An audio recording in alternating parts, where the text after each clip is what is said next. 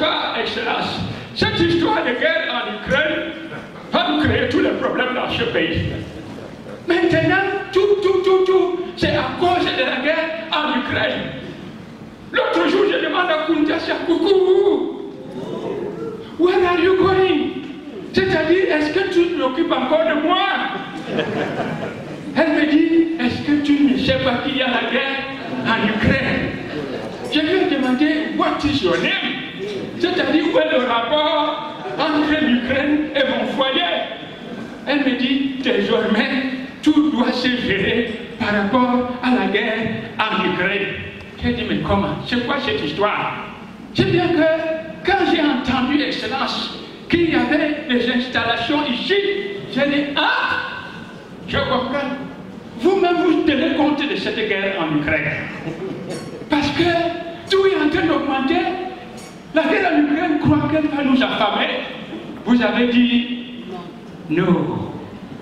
Non, c'est-à-dire, cela ne se fait pas, même si on emprunte combien de dizaines. Ici au pays, nous sommes engagés dans des théories. Il y a eu la théorie du danger. Il y a eu la théorie de la soustraction. Maintenant, vous avez engagé la théorie de la production suffisante. Optez pour des axes de production massive. que vous avez engagé cette révolution agricole. Pour que ici au pays, au lieu de destruction massive, il y ait production massive production massive du maïs, production maïs du cacao, production massive du riz, production maïs.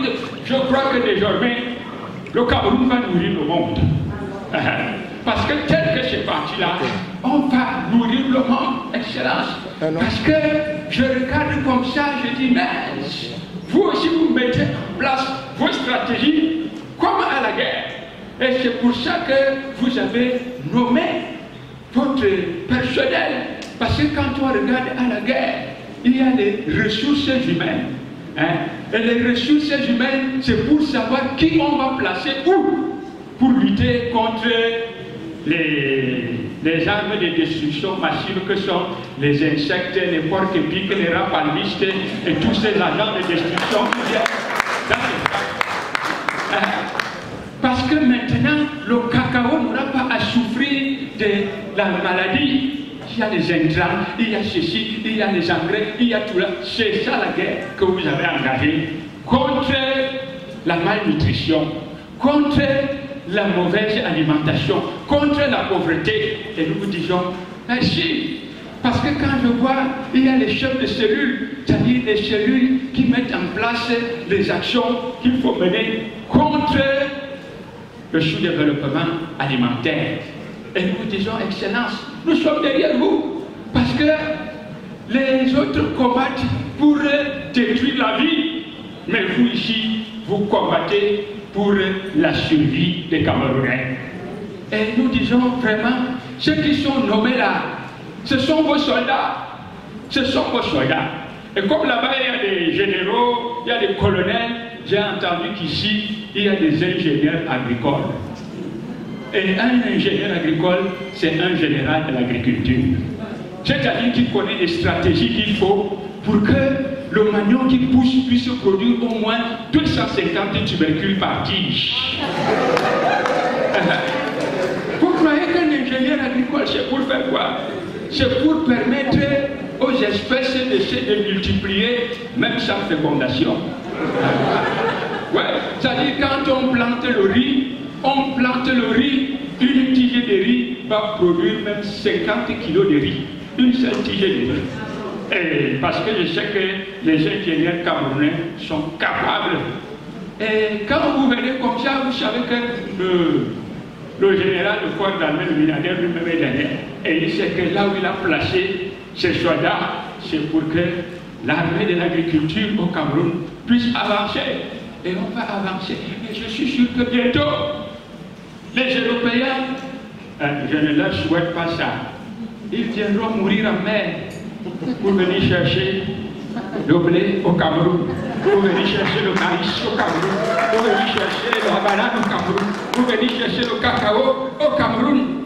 Et là, Excellence, soyez aussi durs. Comme ils sont durs avec les Européens dans la salle. Il n'y en a pas. Comme ils sont aussi durs, soyez durs. Parce que vous voyez comment on renvoie les Africains, les Camerounais qui sont partis dans les océans, on les renvoie. Mais parfois je demande pourquoi les députés, les sénateurs ne votent pas une loi à l'Assemblée nationale obligeant les Européens à rapatrier toutes les billes de bois sans papier qui peuvent arriver là-bas. Si une bille de bois arrive sans papier, on rapatrie au Cameroun. Si vous êtes en situation irrégulière ici en Europe. Mais en attendant qu'on y arrive, c'est eux qui viendront ici se ravitailler en matière d'agriculture. Parce qu'Excellence, vous travaillez pour notre autosuffisance alimentaire. Et à tous les récipiendaires, je vous dis Happy Birthday! C'est-à-dire félicitations! Vous avez mérité. Ça, c'est ma médaille d'honneur du travail. Merci, Excellence. J'ai toujours dit que la seule médaille qui m'intéresse, c'est la médaille d'argent.